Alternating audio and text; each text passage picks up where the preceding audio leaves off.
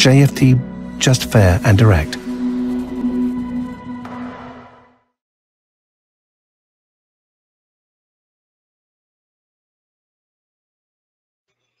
So, einen wunderschönen guten Abend hier heute mal nicht zu einem Trading-Workshop, Trading-Webinar, Trading-Live-Trading, was auch immer, sondern wir wollen mal wieder mit der Right GmbH ähm, sprechen, mit dem Jan in diesem Falle heute und uns dort mal wieder eine Thematik heraussuchen, die durchaus für den einen oder anderen interessant sein sollte.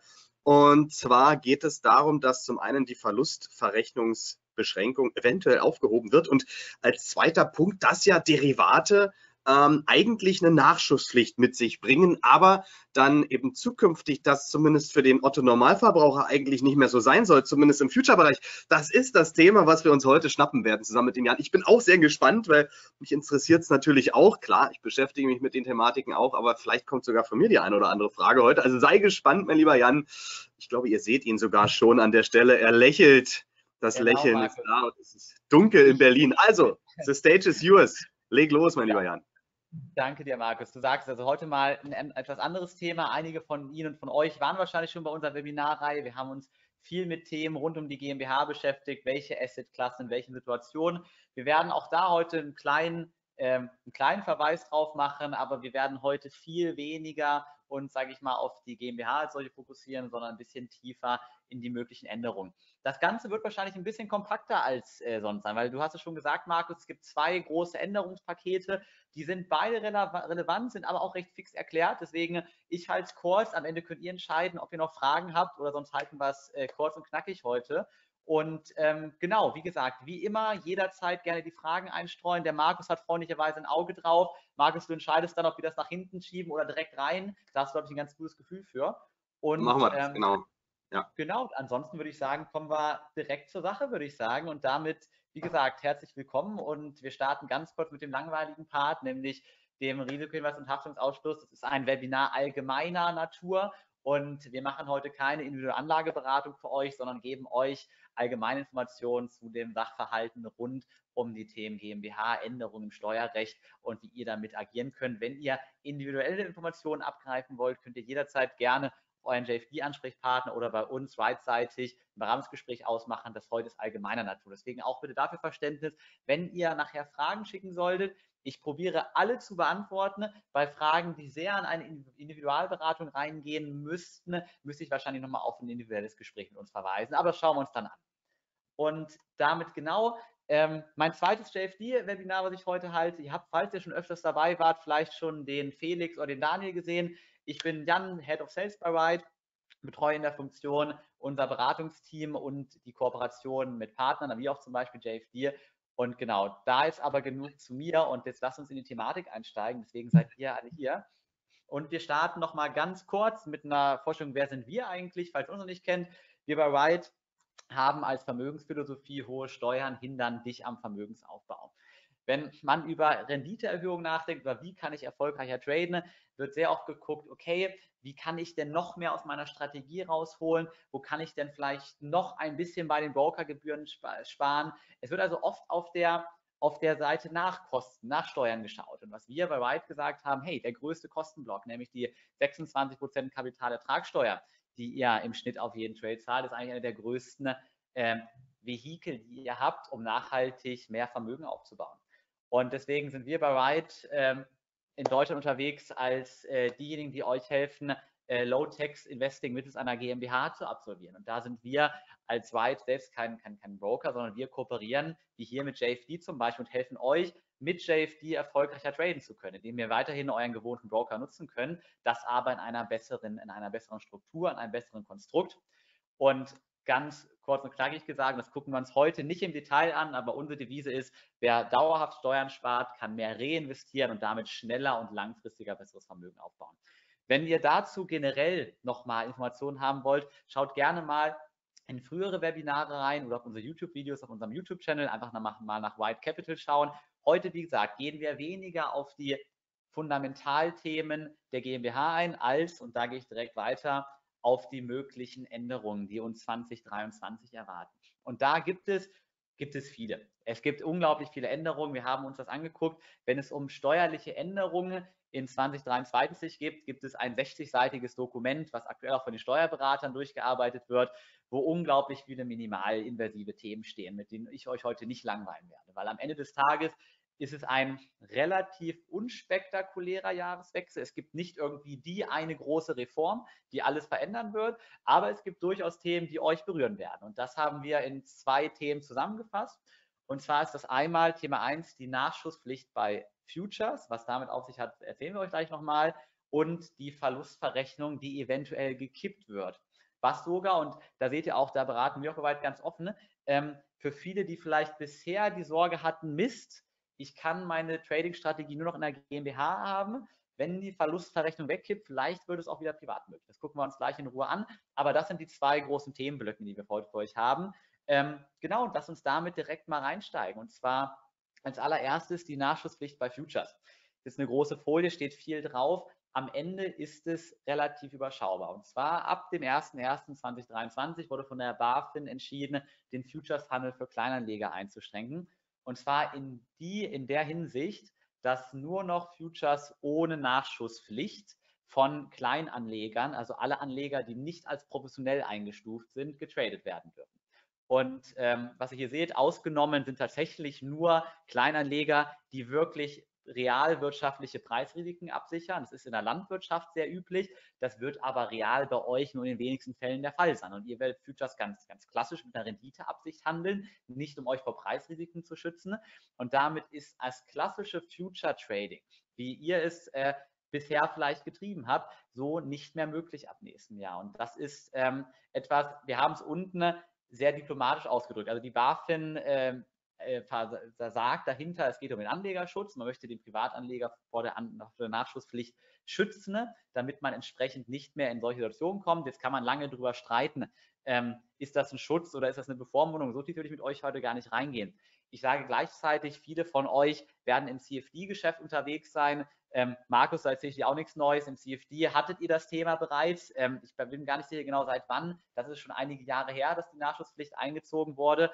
Ähm, das gleiche haben wir jetzt, wie gesagt, bei Futures. Das heißt, die Anleger unter euch, die regelmäßig im Future-Geschäft unterwegs sind, können das in dieser Form nicht mehr machen, sofern eine Nachschusspflicht besteht an der Stelle. Und da gibt es tatsächlich nur einen Ausweg raus und der ist leider auch nicht über die GmbH zu lösen. Da kommen wir gleich drauf zu sprechen. Das ist nämlich ein Thema, was wir aktuell oft in Gesprächen haben. Wir haben viele Kunden, die sich aktuell an uns wenden und sagen, hey Jan, ich habe das mit der Nachschusspflicht mitbekommen, ich, ich möchte weiter meine Futures handeln, kann ich nicht einfach eine GmbH gründen? Und ich wäre größter Fan. Ich meine, die, die mich schon kennen aus anderen Webinaren, ich bin ja der, der das GmbH-Konzept als solches vertritt und großer Fan davon bin. Allerdings ist es nicht das Vehikel, um euch vor dieser Einschränkung zu schützen. Denn es geht bei der, bei diesem, bei der Definition als Kleinanleger geht es nicht darum, ob ihr als Privatperson oder als Gesellschafter einer GmbH tradet, sondern es geht um die Einstufung als professioneller Anleger. Und das gucken wir uns noch hier an. Wie werde ich denn professioneller Anleger? Wie werde ich professioneller Trader? Hierfür müssen von diesen folgenden drei Kriterien, die ihr seht, zwei erfüllt werden. Es ist egal, welche zwei, die Kombi ist egal, aber ihr habt hier die wahrscheinlich die, sag ich mal, Kenngröße, die für die meisten von euch oder viele von euch am einfachsten zu erreichen ist, ist Trading Frequenz. Das heißt mindestens zehn Trades pro Quartal mit dem entsprechenden Finanzinstrument. Das werden viele von euch bereits tun, die zum Beispiel im Futures-Geschäft unterwegs sind. Das ist der Punkt, der am ehesten zu erreichen ist. Das zweite ist aber schon wieder ein bisschen kritischer. Liquide Mittel größer als 500.000 Euro ist eine Summe, die man nicht immer liquide parat hat. Ähm, deswegen scheitert es da schon leider etwas öfters. Und die dritte Möglichkeit, relevante Berufserfahrung von mindestens einem Jahr im Finanzsektor. Und da, wie gesagt, sind die entsprechenden Behörden auch kritisch. Also da reicht es, und das meine ich überhaupt gar nicht ähm, despektierlich, da würde es jetzt nicht reichen, ein, ein Jahr lang, sage ich mal, im, im Service hinterm Bankschalter gesessen zu haben. Da muss man schon sehr nah am echten Trading-Geschäft gewesen sein. Das heißt, eine dieser drei Voraussetzungen muss äh, zutreffen, damit ihr als professioneller Trader eingestuft wird. Ähm, nur dann könnt ihr weiter Futures mit Nachschusspflicht, und so sind nun mal die meisten aufgebaut, weiterhin traden. Falls das nicht mehr, was das bei euch nicht zutreffen sollte, müsst ihr entweder schauen, Future Futures ohne Nachschusspflicht zu traden, was tatsächlich auf dem Markt extrem gering ist. Da werdet ihr lange suchen müssen. Oder alternativ in zum Beispiel die CFDs zu wechseln, wo das Thema bereits schon länger so ist, dass dort keine Nachschusspflicht besteht. Da waren die Regeln schon früher eingeführt. Eng genommen werden rein rechtlich Futures durch diese Anpassung mit CFDs gleichgezogen. Das ist an sich die, die Core-Zusammenfassung. Deswegen seid bitte nicht überrascht, wenn ihr im Futures-Geschäft unterwegs seid. Ab nächsten Jahr kann da sehr, leider sehr schnell ein Riegel vorgeschoben werden. Genau, das zu dem Thema ähm, Futures und wie es ab 20, ab der 2023 damit weitergeht. Das nächste Thema, und das ist leider etwas vager. Da kann ich mit euch heute noch gar nicht so detailliert drüber sprechen, wie wir es eigentlich erhofft haben, weil es einfach sehr langsam vorangeht. Aber ähm, das Thema Verlustverrechnung bei Termingeschäften, das wird für viele von euch ja ein extrem relevantes sein. Weil da geht es, wie gesagt, nicht nur um Futures, wir reden hier über sämtliche Termingeschäfte, also zum Beispiel auch euer CFD-Geschäft oder wenn ihr im Optionsgeschäft unterwegs seid. Und dort, ihr erinnert euch, haben wir seit dem 01.01.2021 die Verlustverrechnungsbeschränkungen, die, wir gucken uns das gleich auf eine der folgenden Folien nochmal als kleinen Reminder an, aber kurz zusammengefasst einfach aussagt, dass ihr nur noch 20.000 Euro eurer Verluste mit den Gewinnen gegenrechnen dürft. Und das ist natürlich bei einer Strategie, wo ihr in beide Richtungen geht, wo ihr euch absichert, äh, extrem kritisch. Ich habe viele Kunden, die machen, fahren eine Strategie, wo ich 100.000 Euro Gewinntrades, 80.000 Euro Verlusttrades habe. An sich eine tolle Sache, 20.000 Euro Reingewinn. Nach der aktuellen Verlustverrechnungsbeschränkung leider nicht, weil ich da, wie gesagt, entsprechend nur 20.000 Euro anrechnen kann, eine viel höhere Steuerlast habe. Wie ist aktuell der Stand? Aktuell eines der meisten Themen bei uns in den Sales-Gesprächen. Was passiert mit der Verlustverrechnungsbeschränkung? Die ehrliche Antwort ist, und die ist leider etwas vage. Es gibt eine Initiative, die Verlustverrechnung wieder für Privatpersonen zurückzunehmen. Und zwar gibt es hierzu ein, ein, ein, ein, ein Zukunftspapier, das sogenannte Zukunftsfinanzierungsgesetz von der FDP getrieben. Das ist prima unser Justizminister Marco Buschmann und Christian Lindner, die zusammen dieses Papier vorgestoßen haben und neben diversen Initiativen, die darin geregelt sind, ist das für unsere Kunden relevanteste genau das, nämlich die Rücknahme der Verlustverrechnungsbeschränkung. Es ist relativ lustig, weil ich meine, die, dieses Gesetz kam erst durch die SPD, also unseren jetzigen Bundeskanzler, jetzt soll es aus dem gleichen wieder zurückgenommen werden. Deswegen, ich bin offen, ich bin nicht so ganz sicher, wann und in welchem Zeitrahmen das passiert wird. Aktuell der Stand ist, und da gibt es auch ähm, teilweise echt Gerüchte, die anders lauten. Ich hatte schon Kunden, die mich angerufen haben, ich kann doch ab dem nächsten Jahr direkt wieder loslegen. Ist leider nicht der Fall. Es gibt weder ein Datum zum jetzigen Zeitpunkt, noch gibt es einen finalen Gesetzesentwurf. Was es gibt, ist das Eckpunktepapier. Und zum jetzigen Zeitpunkt müssen wir uns leider darauf verlassen, dass dieses Eckpunktepapier in der, innerhalb dieser Legislaturperiode umgesetzt wird. Wann es kommen wird oder wenn ich sogar mal kritisch bin, ob es kommen wird, ist noch nicht final definiert. Deswegen ist das leider etwas vage Ausblick. Es kann Hoffnung machen. Das heißt, wenn ihr gerade sowieso überlegt, hey, GmbH war für mich ein Thema, war aber sowieso ein Edge Case, ich war mir nicht so ganz sicher und jetzt ist in Aussicht, dass die Verlustberechnung zurückgenommen wird, dann ist es okay, aktuell zu warten. Das ist ganz verständlich, aber gleichzeitig kann ich keine finale Aussage dazu machen, was dort aktuell passieren wird. Genau. Ähm, wir gucken deswegen nochmal zum Vergleich. Und zwar, ähm, das sind wie gesagt die zwei größten Informationsblöcke, die ihr für das nächste Jahr wissen, wissen müsst. Verlustverrechnung noch nicht klar geregelt. Es gibt die Initiative, es gibt noch keine Entscheidung. Futures sind ab nächsten Jahr für die privaten Anleger unter euch, für die kleinen Anleger komplett untersagt. Was wir uns mal angucken, da wie gesagt die Rücknahme der, der, der, der Verlustverrechnungsbeschränkung noch nicht ganz durch ist, gucken wir uns noch mal einmal ganz kurz als Reminder für euch an, was es damit auf sich hat und wie es in der GmbH eigentlich gehandhabt wird. Ähm, falls ihr schon in einem Webinar mit uns wart zu der Vertiefung von Verlustverrechnungsbeschränkungen innerhalb der GmbH, kann das für euch vielleicht redundant sein. Dann könnt ihr da auch gerne kurz wegschauen. Aber ich denke, für viele mag es nochmal interessant sein, einfach mal, um euch da abzuholen. Was sind eigentlich Termingeschäfte? Wir reden von Optionsgeschäften, wir reden von Swaps, Devisentermingeschäften, Forwards, Futures und den CFDs. Was nicht zu den Termingeschäften gehört, sind Zertifikate und Optionsscheine. Das heißt, die könnt ihr auch bereits jetzt weiterhin privat traden und komplett eure Verluste anrechnen. Nur die obrig genannten sind die, bei denen ihr wirklich aufpassen müsst, dann nicht in eine Situation reinzulaufen. Und was haben wir eigentlich aktuell? Wir gucken es nochmal ganz kurz an. Wenn wir uns auf die Steuerlast angucken, wir haben privat die Kapitalertragssteuer plus den Solidaritätszuschlag auf Termingeschäfte, also ungefähr 26 Prozent. Falls ihr in der Kirche seid, kommt dann noch die Kirchensteuer drauf, dann sind ihr bei ungefähr 27 Prozent. Wir haben auf GmbH-Ebene haben wir die Körperschaftssteuer, die Gewerbesteuer und den Solidaritätszuschlag auf die Körperschaftssteuer. Da kommt ihr bei ungefähr 30 Prozent raus. Das heißt, und deswegen ist das so ein interessantes Unterfangen, was gerade mit der Verlustverrechnung passiert, sollte die Verlustverrechnung wirklich zurückgenommen werden, dann seid ihr in vielen Fällen mit den Termingeschäften im Privat besser aufgehoben, weil ihr seht es, rein vom Steuersatz sind wir in der GmbH leicht nachteilig. Was in den letzten Jahren, seit 2021, ganz viele Leute in die GmbH gebracht hat, war das Thema Verlustverrechnung. Denn dort könnt ihr weiterhin uneingeschränkt die Verluste anrechnen, während ihr auf privater Ebene nur die 20.000 noch anrechnen könnt. Und wie gesagt, wir wissen nicht, ob und wann es dann wirklich zurückgenommen wird.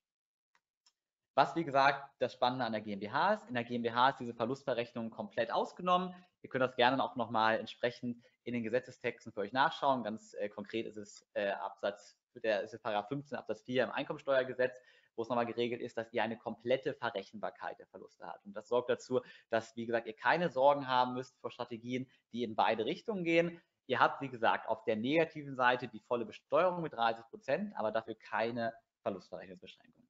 Was das konkret zahlenbasiert ausmachen kann, gucken wir uns hier nochmal ganz kurz an. Vielleicht haben einige Tabellen schon mal gesehen, sind sehr viele Zahlen, die hier aufgelistet sind. Warum mache ich das trotzdem? Weil ich es ganz wichtig finde, dass man nicht nur in der Theorie verbleibt, sondern auch wirklich mal versteht, was hat denn die, was sind die Auswirkungen aktuell. Ich hoffe auch, dass keiner von euch vielleicht ungewollt in diese blöde Verlustverrechnung reingerutscht ist, weil das, da mag der eine oder andere bei der Steuererklärung, wenn er sie noch rückwirkend macht, vielleicht auch ein blaues Auge beibekommen. Wir gucken uns hier ganz kurz einen Fall an. Welchen haben wir aufgemalt? Wir haben einen, einen Händler, der hat 90.000 Euro Gewinne aus Optionsgeschäften gemacht und im gleichen Jahr 60.000 Euro Verluste aus Optionsgeschäften, also einfach gegenläufige, gegenläufige Trades gesetzt. Das heißt, eng genommen hätten wir einen Reingewinn von 30.000 Euro bei den Trades. Was gucken wir uns an? Wir haben Software-Tools und Börsenbriefe, die haben wir mit 2.500 hier eingepreist. Wir haben Leverage-Zinsen mit 1.200. Wir haben die Kosten der GmbH-Verwaltung auf der linken Seite. Die haben wir nur für die GmbH berücksichtigt, nicht für das Privatvermögen. Das heißt, dort haben wir einen negativen Faktor der GmbH eingepreist. Wir haben Fortbildungskosten in Höhe von 5.000 Euro eingepreist und äh, Geschäftsreisekosten in Höhe von 3.000 Euro. Warum? Jetzt gucken wir uns die Zahlen mal genauer an. Wie wird denn am Ende das zu versteuernde Ergebnis berechnet und was, wie komme, auf welches Realergebnis komme ich am Ende? Wenn ich mir erstmal die rechte Seite angucke, das ist hier grau unterlegt, das ist die Privatebene. Und was wir auf der Privatebene sehen, ist, dass ich an sich ja einen Reingewinn von 30.000 Euro habe. Ich habe 90.000 Euro Gewinn, 60.000 Euro Verlust. Rein steuerlich, und das seht ihr ganz rechts, kann ich von den 60.000 Euro Verlust allerdings nur 20.000 Euro anrechnen. Das heißt, obwohl ich nur 30.000 Euro Reingewinn gemacht habe, wird steuerlich ein Gewinn von 70.000 Euro angerechnet die sämtlichen Kostenpunkte, die ich gerade aufgelistet habe, seien es eure Leverage-Zinsen, sei es eure Tools, die ihr nutzt, seien es eure Fortbildungen, können nicht eingebracht werden. Das Einzige, was auf Privatebene an Kosten eingebracht werden kann, ist der Sparerpauschbetrag bei 801 Euro. Das heißt, obwohl ihr, wie ihr es in diesem Beispiel seht, einen Reingewinn von nur 30.000 Euro gemacht habt, müsst ihr 70.000 Euro abzüglich der 801 Euro mit der Kapitalertragssteuer besteuern. Seid also effektiv bei einer Steuerlast von äh, von, also effektiv bei einer Steuerlast, die sich auf die kompletten, ähm, auf, die, auf, die, auf, die, auf diesen nicht angefallenen Gewinn von fast 70.000 Euro bezieht und seid effektiv am Ende des Tages bei einem realen Gewinn nach Steuern und nach Kosten in diesem Beispiel von knapp nur 49 Euro. Also dafür würde man sich wahrscheinlich den Struggle nicht antun. Auf der linken Seite haben wir eine andere steuerliche Grundlage. Wir haben eine volle Verrechenbarkeit. Das heißt, ich kann von den 90.000 Euro Gewinn die kompletten 60.000 Euro abziehen. Ich kann sämtliche Kosten abziehen und habe am Ende deswegen ein Ergebnis vorsteuern, was bei 15.000 Euro, äh, genau, was bei 15.800 Euro liegt. Das heißt eigentlich sogar niedriger als, ähm, als das, was ich auf privater Ebene habe. Da ich aber anders als auf privater Ebene nicht diese fiktiven 70.000 Euro versteuere, sondern wirklich nur die echten Gewinne nach Abzug der Kosten, ne, gehen von diesen Beträgen, ihr seht das hier, jeweils 14,35% Gewerbesteuer und 15,85% Körperschaftssteuer plus äh, Soli ab. Ich bin also effektiv bei einer Steuerlast von 4.700 Euro und habe 11.000 Euro Reingewinn.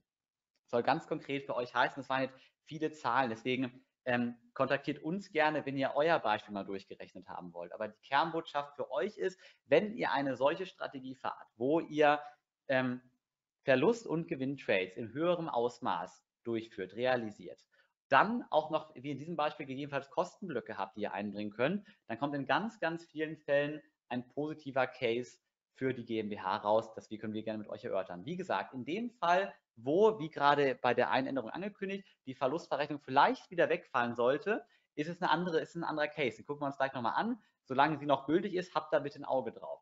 Denn was kann denn passieren, wenn ich da nicht dran denke? Das gucken wir uns jetzt nochmal ganz kurz an. Wir haben hier nochmal kurz auf Privatebene zusammengefasst. Wenn ihr das nachschauen wollt, das ist übrigens im Paragraph 20 Absatz 6 im Einkommensteuergesetz. Dort ist die Verlustverrechnung geregelt. Und die sagt nochmal, wir hatten es gerade schon, maximal 20.000 Euro Verrechenbarkeit. Was heißt das eigentlich ganz konkret? Das wieder sehr formell, aber ich möchte dieses Wissen gerne mit euch teilen. Hier sehen wir die verschiedenen Verrechenbarkeiten von Wertpapiertypen. Und was ihr hier seht, wir haben auf der linken Seite haben wir die Verluste aus verschiedenen, ähm, aus verschiedenen Klassen, aus verschiedenen Töpfen. Auf der rechten Seite haben wir die Gewinne aus verschiedenen Klassen. Und wir lassen jetzt mal den oberen Teil aus. Wir haben hier zum Beispiel ähm, Stückzinsen, Wertpapierveräußerungen. Wir haben zum Beispiel auch Termingeschäfte bis 2020. Das mag noch interessant sein. Der Top 1, den ihr hier seht, bis 2020 konntet ihr eure Verluste aus Termingeschäften mit sämtlichen Anlageklassen unbegrenzt verrechnen. Also ihr hättet zum Beispiel auch ähm, 30.000 Euro Verluste aus Termingeschäften mit Aktiengewinnen verrechnen können. Nicht nur das geht nicht mehr, damit springen wir einmal in die Zeile nach ganz unten. Das ist dann dieser Top 4, Termingeschäfte seit 2021.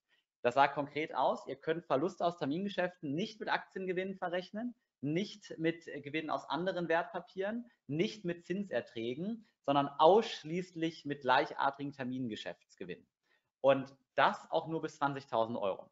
Das heißt, dieses, dieses, Gesetz begrenzt nicht nur die Quantität der Menge, die ihr verrechnen könnt, sondern auch mit welchen Typen. Das ist der, Fakt, wie es jetzt noch ist. Das heißt, wenn ihr vielleicht jetzt ungewollt in diese kleine Falle gerutscht seid für 2022, denn noch ist die Verlustverrechnung ja voll in Kraft, könnte es sein, dass wenn ihr eure Steuererklärung dieses Jahr die Anlage CAP macht, in eine recht blöde Situation kommt. Denn auch das ist eine nüchterne Folie, aber eine ganz, ganz wichtige, weil sie dieses theoretische Zahlenbeispiel mal ein bisschen untermauert. Ihr ähm, wollt ganz normal in eure Steuererklärung angeben, hey, wir haben jetzt mal hier ein Beispiel, wo jemand 10.000 Euro Gewinne erwirtschaftet hat.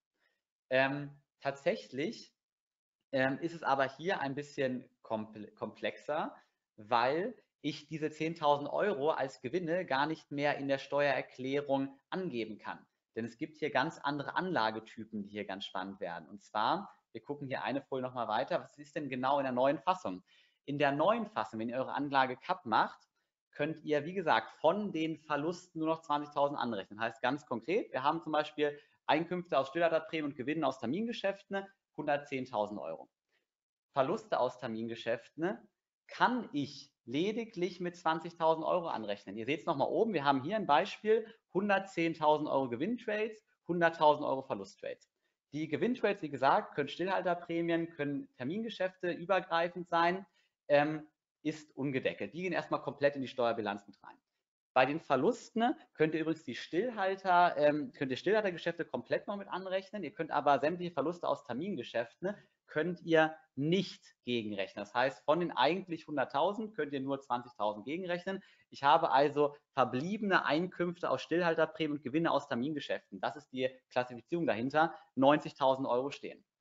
Und das ist extrem. Das heißt, bei einem Reingewinn von 90.000 Euro habe ich in diesem Beispiel eine Steuerlast, ähm, die sich nicht auf den Reingewinn von 10.000 Euro bezieht, sondern auf einen 90.000 Euro Betrag, der so gar nicht existiert.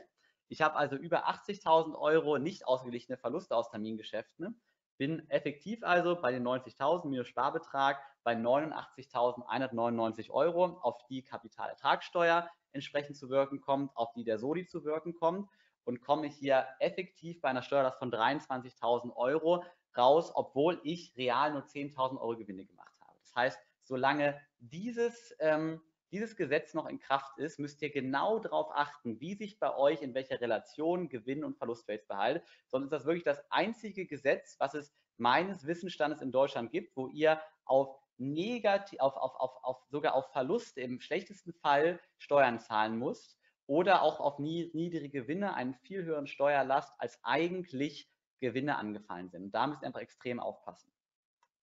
Genau, und hier sehen wir das nochmal ganz konkret in dem Beispiel. ähm, wie würdet ihr in Wirklichkeit dann eure Anlage CAP ausfüllen? Ähm, vielleicht macht ihr es auch mit einer anderen Buchhaltungssoftware, aber am Ende des Tages gebt ihr eure Kapitalerträge an, 110.000 Euro. Dann habt ihr hier in Spalte 24 die Verluste aus Termingeschäften, 100.000 Euro. Wie gesagt, da wird dann in der Steuererklärung automatisch nur 20.000 Euro angerechnet und ihr kommt auf dieses Problem, dass ihr wie in diesem Beispiel bei 10.000 Euro Reingewinn 23.000 Euro Steuerlast hat, also am Ende minus 13.000 Euro Saldo habt, also eine Negativrendite erzielt habt. Deswegen wundert euch nicht, wenn ihr beim Ausfüllen eurer Steuererklärung auf so eine Situation stößt. Ähm, das kann leider für viele zu einer unschönen Überraschung führen. Achtet da sehr bitte drauf, wenn ihr die Anlage CAP ausfüllt. Genau ein Thema noch vorab und da wird es schon viel knapper. Wir haben jetzt lange nochmal das Thema Termingeschäfte uns gerade angeschaut. Wir hatten ja gerade das Thema, dass dieses Gesetz ja gegebenenfalls abgeschafft wird. Wir können noch kein Datum nennen, aber wir hoffen drauf. Ähm, lohnt sich dann die GmbH überhaupt noch? Das ist eine bisschen unklare Betrachtung. Und zwar, ähm, wir haben hier, was ihr sehen könnt, das identische Beispiel aus den Folien davor. Wir haben nur auch hier die volle Verrechenbarkeit im Privatvermögen unterstellt. Und was ihr hier seht, in dem Beispiel, ich gehe es nicht nochmal im Detail durch. Der einzige Unterschied ist, wie gesagt, auch privat haben wir hier alles miteinander verrechnen können, dass wir selbst dann in diesem Beispiel noch auf einen positiven GmbH-Case ähm, kommen. Wie kann das sein? Und das möchte ich euch nochmal als Gedankenanschluss mitgeben, weil das trifft nicht auf jeden zu. Aber selbst wenn die Verlustverrechnungsbeschränkung nicht mehr greift, ihr allerdings relativ intensive Trading-Ausgaben habt, wenn ihr zum Beispiel regelmäßig umfangreichere Trading Coaches zur Verfügung sieht. Ich hatte letztens ein Gespräch mit einem Kunden, der sagt, er hat im Jahr ungefähr 25.000 Euro Ausgaben nur für sein Coaching. Es gibt da ja sehr intensive Möglichkeiten. Wenn ihr sagt, hey, das ist bei mir ebenfalls zutreffend, dann kann selbst nach Wegfall der Verlustverrechnungsbeschränkung noch ein positiver GmbH-Case rauskommen, einfach durch die volle Anrechenbarkeit von Verlusten. Um das aber in Detail zu gucken, solltet ihr mit uns am besten Kontakt aufnehmen, weil der Case ist nicht mehr so klar. Als die Verlustverrechnung noch kommt, also bis jetzt ist es ja noch, aber solange die Verlustverrechnung noch aktiv ist, ist es häufig ein sehr, sehr klarer Case für die GmbH. Wenn sie wegfällt, ist es ein knapperer Case und es kommt darauf an, wie viele Kosten ihr real in die GmbH umschichten könnt. Was ich nur sagen möchte, es gibt selbst dann noch einen Case für die GmbH, er muss aber detaillierter und genauer angeschaut werden. Falls ihr für euch nochmal persönlich nachrechnen wollt, wenn, wie es denn bei euch, solange die Verlustverrechnungsbeschränkung noch greift, mit der Steuerlast aussieht, könnt ihr gerne unseren Aktienrechner nutzen. Den, sorry, nicht den Aktienrechner, den Derivaterechner nennt er sich bei uns. Und zwar könnt ihr da einfach auf unserer Website unter der Kategorie Wissen den Derivaterechner suchen oder ihr geht hier über die White.capital, ein relativ langer Link, ähm, könnt ihr ebenfalls ähm, draufgehen und kann dort mal für eure Strategie ausrechnen, in was für eine Dimension rutscht ihr denn da. Wenn ihr noch gar kein Gefühl habt, ob das für euch relevant ist, könnt ihr hier eure Gewinntrades, eure Verlusttrades auflisten und wir rechnen für euch nach, was für eine Steuerlast habt ihr denn zu erwarten auf privater Ebene und würde sich das auf GmbH-Ebene lohnen. Genau, das ist einfach für euch nochmal mal Case nachzurechnen. Wenn euch das, das dient meistens als erste Tendenz. Wenn ihr tiefer in die Thematik einsteigen wollt, empfehlen wir das Gespräch mit uns. Dann können wir euren Case mit Einbringung aller Kosten mal wirklich gemeinsam durchrechnen. Genau. Wir gucken nochmal abschließend, das ist heute nicht der Fokus. Es ging heute um die Änderung, aber wir gucken nochmal ganz kurz drauf. Ähm, wie sieht es eigentlich aus? Für was macht die GmbH Sinn? Für was macht sie jedenfalls keinen Sinn? Bei Aktienstrategien ist die GmbH definitiv vorteilhaft. Dort haben wir die 1,5% Realbesteuerung im Vergleich zur Kapitalertragssteuer. Bei Termingeschäften ist es eine leicht höhere Besteuerung in der GmbH, solange die Verlustverrechnungsbeschränkung aber noch greift oder ich Kosten einbringen kann, ist es meistens auch noch ein positiver Case. Dividenden lohnen sich nicht in der GmbH. Dafür rein Dividendenstrategien empfehlen wir eher das Privatvermögen. Bei Fonds und Mischfonds ist es nicht mehr so klar wie bei Aktien, aber immer noch steuerlich bevorteilt im Vergleich zum Privatvermögen. Was sich ebenfalls lohnt, wenn das für den einen oder anderen für euch relevant ist, ist das Thema, das sieht ihr ganz unten, vermietete Immobilien. Die werden in der GmbH lediglich mit 15 Prozent besteuert, während ihr im Privatvermögen im Worst Case bei eurem Einkommensteuersatz, also vielleicht sogar beim Höchststeuersatz, liegen wird. Kryptowährungen ist ein Zwischending, weil ihr im Kryptobereich unterwegs seid. Dort lohnt sich für unterjähriges Trading die GmbH, weil unterjähriges Trading wird im Privatvermögen mit der Einkommensteuer besteuert, während es in der GmbH flat mit 30 Prozent besteuert wird.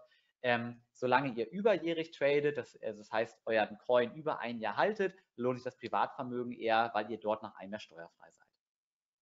Genau. ganz kurz, und damit mache ich demnächst auch schon den Bogen. Ähm, warum erzähle ich das heute eigentlich? Viele von euch, die in den Webinaren schon waren, wissen das schon. Für neue mache ich es nochmal ganz kurz. Wir von Ride sind nicht als, als, als, als Bank hier unterwegs, sondern wir helfen euch bei der Strukturierung des Ganzen. Das heißt, wenn ihr sagt, hey, für mich ist die GmbH ein spannendes Vehikel. Ich habe entweder eine Aktienstrategie, ich, die Verlustverrechnung macht mir doch noch zu viele Sorgen, auch wenn sie jetzt vielleicht aufgelöst wird, aber ich weiß nicht wann. Oder ich möchte einfach generell gucken, mein Vermögen von Privaten an eine Kapitalgesellschaft zu überführen, sind wir der Ansprechpartner, der euch dabei helfen kann, das Ganze zu strukturieren und langfristig auch administrativ zu betreuen. Und zwar tun wir genau das zur Festpreisen. Denn ähm, was oft viele davon abgehalten hat, sich für eine vermögensverwaltende GmbH zu entscheiden, war das Thema der sehr intransparenten Preise. Und genau dieses Thema wollten wir angehen. Deswegen haben wir sämtliche Servicedienstleistungen rund um die GmbH für unsere Kunden angeboten zu Festpreisen, damit das für euch abbildbar würde. Das machen wir dann mit Partnern wie JFD, damit die Kunden bei ihrem favorisierten Broker bleiben können und das Ganze aber in einer besseren Struktur machen können. Ein kleiner Bonus nochmal, um das Ganze zusammenzufassen. Schritt für Schritt zum besseren Vermögensaufbau. Ganz konkret, wie funktioniert das Konstrukt eigentlich, wenn ich mich für eine GmbH entscheide? Wir haben hier, das ist sehr kompakt zusammengefasst, acht Schritte für euch aufgezeichnet, wie eigentlich der Idealweg einer, einer GmbH aussieht. Und zwar, ich gründe die GmbH, ich schließe einen Rahmenkreditvertrag mit dieser GmbH ab und führe darüber Geld in die GmbH ein. Ich bringe also meine privaten liquiden Mittel in die GmbH ein. Ich verschiebe meine Kosten in die GmbH und probiere möglichst viele aktuell noch private Ausgaben in die GmbH überzuschieben. Das können zum Beispiel sein eure Messebesucher. Das kann das Trading Coaching sein. Das kann euer Bildschirm sein, an dem ihr tradet. Das kann auch euer Schreibtischstuhl sein, auf dem ihr tradet. Das heißt also sämtliche Tätigkeiten, die in Relation zu eurer Trading-Tätigkeit stehen. Die können als Kosten eingebracht werden und damit eure Steuerlast nachhaltig senken. Genau. Ich werde, genau, vier habe ich damit schon, schon, schon abgedeckt, das heißt private Konsumeinsparung in die GmbH einbringen. Ähm, fünf Assets kaufen. Ich kaufe meine Assets nicht mehr als Privatperson, ich kaufe sie in der GmbH, realisiere auch die Gewinne innerhalb der GmbH und reinvestiere dann wieder. Denn ich habe in der GmbH selbst eine sehr niedrige Besteuerung oder wie im Fall Verlustverrechnung den nicht, das Nichtvorhandensein der Verlustverrechnungsbeschränkung und kann dort wieder mit höheren Summen reinvestieren. Punkt 7 ist dann die Auszahlung. Da gibt es zwei Themen, die wir ansprechen. Zum ersten sollte man die Auszahlung möglichst weit nach hinten schieben. Wir empfehlen erst das Geld eine Zeit lang, wir reden da oft von zehn Jahren, in der GmbH arbeiten zu lassen, um es dann nachhaltig über ein Gehalt sich zurückzuzahlen. Das Spannende beim Gehalt ist, ihr könnt das als Geschäftsführer Sozialabgaben befreit machen und dadurch euch extrem steueroptimiert das Geld aus der GmbH wieder rausführen. Denn auf der anderen Seite sind die Lohnkosten, die ihr euch zahlt, in der GmbH selbst Kostenfaktor. Ihr senkt also den GmbH-Steuersatz und habt eine leichte Last auf Privatebene, das sich am Ende sehr gut ausgleicht. Was dann als achter Punkt noch eine Möglichkeit ist, die viele unserer Kunden ansprechen, wenn ihr vielleicht sowieso eine Tätigkeit nachgeht, die in die GmbH auslagbar ist. Wir haben viele Leute, die in der Beratung oder im Coaching aktiv sind. Dann könnt ihr neben eurem Trading auch andere Tätigkeiten in die GmbH einfügen, das Konstrukt also direkt für beides nutzen und damit mit den gleichen Strukturkosten viel mehr Möglichkeiten in der GmbH nutzen. Das heißt, ganz andere Kosten einbringen, das Modul, das ganze, das ganze Konzept einfach noch viel breiter nutzen weil die Frage relativ häufig kommt, wie sieht es eigentlich konkret aus? Was kann ich mit meinem JFD-Depot eigentlich konkret machen? Was wir bei Ride machen, jeder unserer Kunden kriegt einen festen Account. Über diesen Account wird die eigene GmbH gemanagt, dort werden Dokumente abgelegt, dort habe ich so ein bisschen meinen Datenspeicher meiner GmbH. Und wenn ich jetzt im Fall, in diesem Fall mein JFD-Depot anbinden möchte, ist es ganz einfach, ich wähle unter, unter dem Reiter Wertpapierverbuchung wähle ich meinen Broker JFD aus. Ihr könnt über die, euer JFD-Plattform direkt euren JFD-Token erstellen und wir kriegen von JFD selbst automatisiert eure Transaktion zugespielt und können die komplett automatisiert verbuchen. Das heißt, für euch ist es ein einmaliger Arbeitsaufwand ähm, danach erfolgt alles automatisiert über unsere Plattform. Genau. Und jetzt war ich doch, doch, Mensch, doch schon wieder eine halbe Stunde rum. Ich bin jetzt immer überrascht. Ähm, fast schon ein bisschen länger als geplant. Deswegen ähm, an euch nochmal, das war jetzt sehr kompakt natürlich. Wir gucken gleich nochmal auf eure Fragen. Ähm, wie gesagt, wenn ihr das Thema vertiefen wollt, wenn ihr jetzt durch dieses Webinar vielleicht einen kleinen Impuls bekommen habt, wo sowohl Fragen gelöst, aber vielleicht auch neue Fragen aufgekommen sind, dann nutzt gerne die Möglichkeit, entweder ein kostenloses Beratungsgespräch mit uns zu buchen. Das geht über unsere Website white.capital. Nicht wundern, da kommt kein DE mehr hinten dran. Capital ist wirklich das Ende. Ähm, ihr könnt es aber auch, wenn ihr sagt, ein Gespräch muss noch gar nicht sein, ich habe eine ganz konkrete Frage, jederzeit über unseren Live-Chat von 9 bis 18 Uhr kontaktieren oder uns eine E-Mail schreiben an die fragen at right.capital, falls da noch Themen ausbleiben sollte. Und ähm, genau, damit von mir schon mal ganz vielen Dank an euch und Markus auch an dich. Genau, hier sind auch nochmal eure Daten eingeblendet. Ähm, Markus, du hast ein kleines Auge drauf gehabt. Ähm, sind Fragen angefallen, auf die wir vielleicht nochmal eingehen sollen? Es sind gar nicht so viele Fragen. Erstmal vielen, vielen Dank für die vielen Informationen. Du bist ja an einem Tempo da durchmarschiert. Äh, der Helmut hatte schon spaßeshalber vorhin gefragt, ob du auch noch einen Tanzkurs belegst, weil du nebenbei immer noch so ein bisschen Workout gemacht hast beim ähm, Erzählen, ja.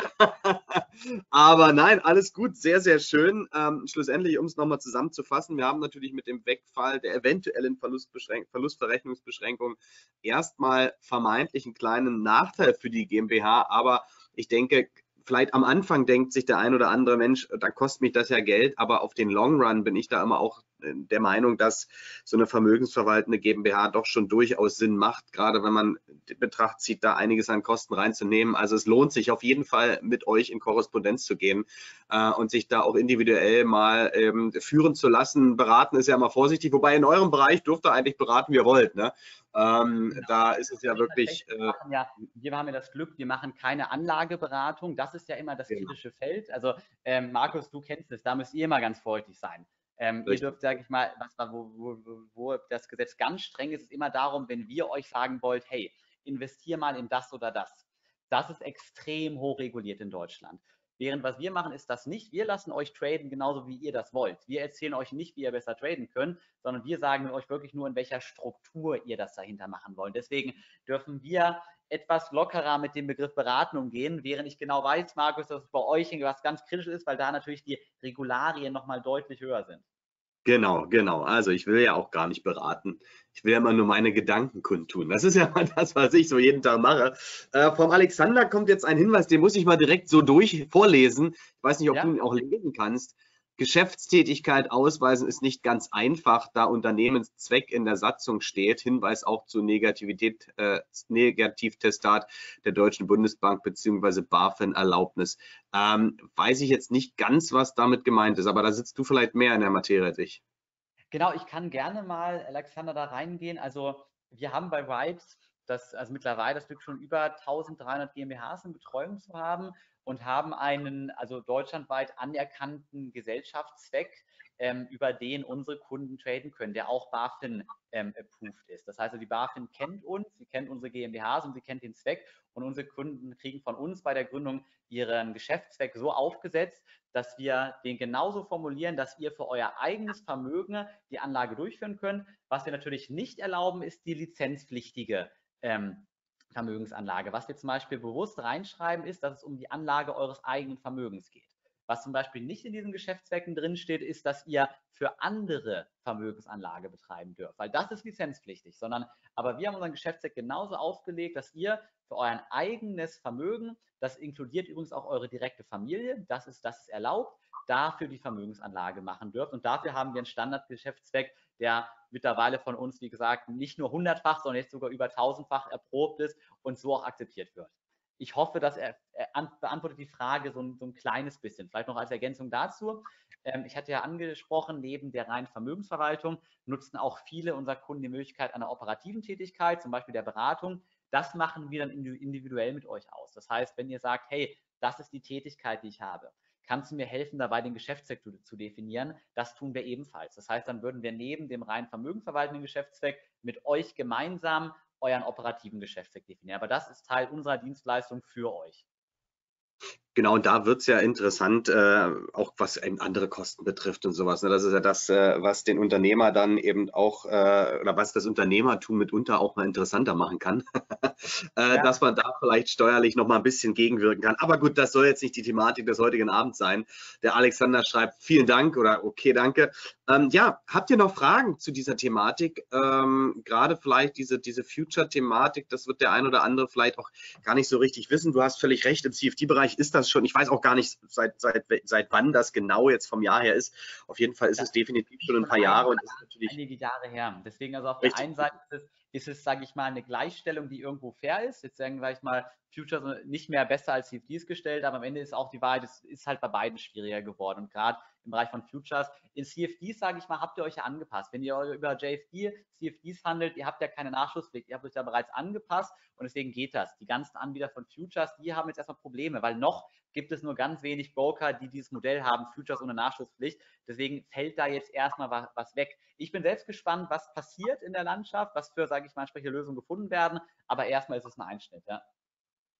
Genau, und da muss man jetzt wirklich auch gucken, was da am Ende kommt. Die Broker müssen sich darauf einstellen. Ne? Ich meine, die werden natürlich auch versuchen wollen, euch als Kunden zu halten ähm, und, und wollen, wollen jetzt auch nicht, dass da eben reihenweise die Kunden auf einmal wegbrechen, beziehungsweise dass man äh, Konten schließen muss oder eben am Ende, wie du schon sagst, vielleicht hat man am Ende gar keinen Hebel mehr, keine Margin-Anforderungen, man muss 100 Prozent hinterlegen. Da wird es natürlich eben auch teilweise wirklich schwierig mittlerweile bei den äh, teilweise Kursständen dort äh, mit den entsprechenden Größenordnungen. Da liegen wir im Dow Jones irgendwo bei 300.000 Dollar oder mehr als 300.000 Dollar als Beispiel mal ähm, äh, das, das ist dann schon eine Hausmarke. Ja? Äh, gerade wenn man jetzt auch am DAX, wenn man da den, den, den Kursstand 14.000 mal 25 nimmt, da liegen wir auch irgendwo bei 350.000 äh, Euro, 100 Prozent quasi Hinterlegung für einen Future-Kontrakt. Und da hat man noch keine Drawdowns und psychologische Puffer und was man theoretisch noch so braucht für sein Trading mit eingerechnet. Das ist denn schon eine ganz schöne Hausmarke. Und ähm, jetzt ist auch die Frage hier, gut, okay, da, da, da hat natürlich die Day- und, und Overnight-Margin damit nichts zu tun, weil einfach der Broker, wenn er es euch erlauben würde, dann er kann das euch erlauben. Er kann alles erlauben, aber er steht dann dafür gerade. Er muss dann im Endeffekt gegenüber dem Clearing bzw. gegenüber der Börse Rechenschaft ablegen und die Kohle hinblättern. Äh, und im, im Zuge versucht er das natürlich von euch dann zu bekommen, aber wenn er es von euch nicht bekommen kann, dann muss der Broker erstmal dafür gerade stehen, weil rechtlich ist es halt einfach dann nicht mehr so. Gut, das dazu vielleicht nochmal. Ähm, ansonsten, wenn jetzt keine weiteren Fragen kommen, war ja schon ausführlich, würde ich sagen, Jan, du bist entlassen. Ich wünsche dir einen wunderbaren Abend. Du hast wieder Berlin bei Nacht hinter dir. Ich denke, du wirst jetzt abtauchen in die Berliner ähm, Kneipen- und äh, Barwelt, ja, und vielleicht nochmal so ein Afterwork. Du, überschätzt, du überschätzt mein, mein zwischenwöchiges Nachtleben, aber ich ähm, bin froh, ich glaube, man sieht es gar nicht, dass wir haben ja das Universal Studio hinter uns, dass ähm, anscheinend äh, die Strompreise es wieder zulassen, dass wir ein bisschen Beleuchtung von hinten bekommen. Das war nämlich die, die letzten Wochen noch dunkel.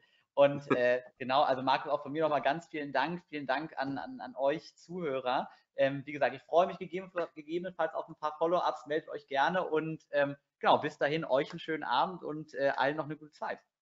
Danke dir. Vielen Dank. Bis zum nächsten Mal, mein Lieber. Schönen Abend. Liebe ciao. Grüße nach Berlin. Bye bye und ciao. Tschüss.